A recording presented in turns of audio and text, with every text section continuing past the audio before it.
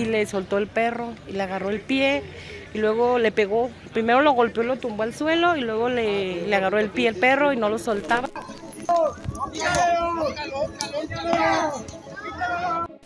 Un pitbull y su dueño se han convertido en la pesadilla de la colonia Constitución en Zapopan. Asusado por su propietario, el perro ha cometido al menos dos ataques intencionales en la plaza aledaña al templo. El último ocurrió el lunes, cerca de las 3 de la tarde. La víctima fue Arturo Ismael.